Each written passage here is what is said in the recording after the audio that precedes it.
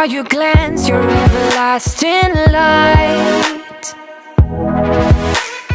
Let your eyes raise a sharp cover through the crowd.